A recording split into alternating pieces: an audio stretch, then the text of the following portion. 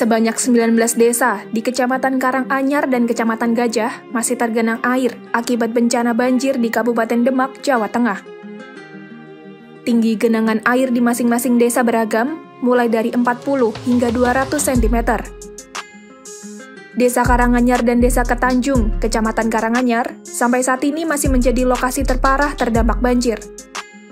Pantauan tim Kompas di lokasi pada Selasa 13 Februari 2024 pukul 3 sore waktu Indonesia Barat, banjir di Desa Wono Ketingal, Kecamatan Karanganyar, ketinggian air masih mencapai 1 meter lebih. Sementara itu, berdasarkan data Badan Penanggulangan Bencana Daerah (BPBD) Kabupaten Demak, per Selasa pukul 10 waktu Indonesia Barat, bencana banjir yang terjadi pada Senin lalu itu berdampak pada 39 desa. 39 desa terdampak itu tersebar di tujuh kecamatan.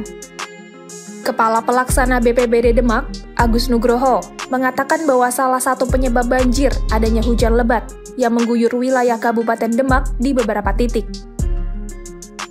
Agus juga melaporkan setidaknya 19 desa di dua kecamatan masih tergenang dan lima kecamatan lainnya mulai surut.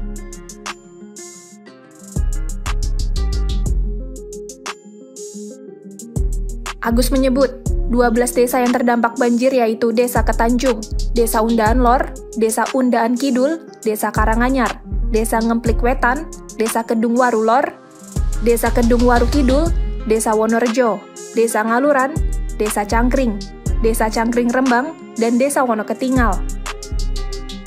Sementara di Kecamatan Gajah, tujuh desa yang terdampak banjir yaitu Desa Tambirejo, Desa Medini, Desa Sambung, Desa Wilalung, Desa Tanjung Sari, Desa Tanjung Anyar, dan Desa Sari.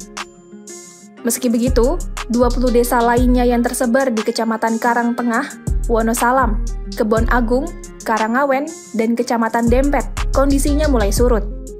Agus mengungkapkan, bencana itu berdampak ke 84.270 jiwa dan setidaknya 22.860 orang mengungsi. Para pengungsi tersebar di berbagai wilayah, di antaranya yaitu tersebar di Kecamatan Karanganyar 26 tempat, Kecamatan Gajah 28 tempat, Kecamatan Demak 5 tempat, Kecamatan Mijan 6 tempat, dan Kabupaten Kudus 10 tempat.